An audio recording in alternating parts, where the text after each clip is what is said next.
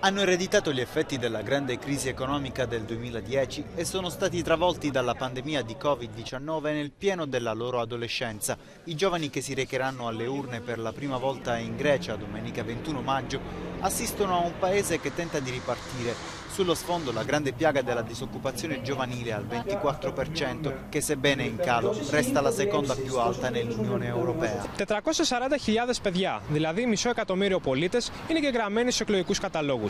Σε αυτέ τι εθνικέ εκλογέ καλούνται να ψηφίσουν για πρώτη φορά.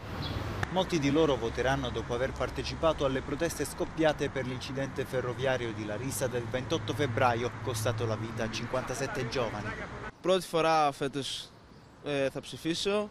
Συζητάμε και με τους γονείς πού θα επιλέξουμε, τι θα κάνουμε, τι μας συμφέρει, τι δεν μας συμφέρει. Με κριτήριο το ποιο κόμμα ας πούμε, θα έχει καλύτερο πρόγραμμα στην οικονομία και στην παιδεία. Που είναι τα, από τα βασικά πράγματα για τα οποία πρέπει όλοι να ψηφίζουμε και για τα οποία πρέπει να αγωνιζόμαστε βασικά αυτό. Θα ψηφίσω με δικό μου κριτήριο και έχοντας ψάξει χρόνια και έχοντας ε, κάνει σκέψεις. Έχει ξεκινήσει ήδη η χώρα να έχει μια ανάκαμψη. Θέλουμε να συνεχίσει και θα κάνουμε, πιστεύω ότι γενικότερα οι νέοι πρέπει να συμμετάσχουν σε αυτές τις εκλογές διότι το, είναι το μέλλον της χώρας.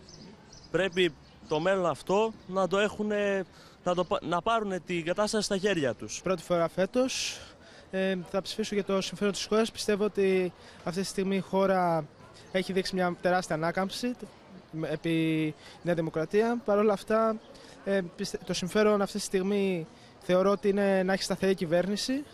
Δεν έχει να κάνει με τα προσωπικά κριτήρια αυτό και ότι θα ψηφίσω και αυτά. Είναι όμως πιστεύω το ιδανικό για τη χώρα. Ναι, θα ψηφίσω εθνικές εκλογές. Ε, δεν ξέρω με τι κριτήρια ακόμα, γιατί δεν έχω ενημερωθεί και τόσο πολύ γενικά.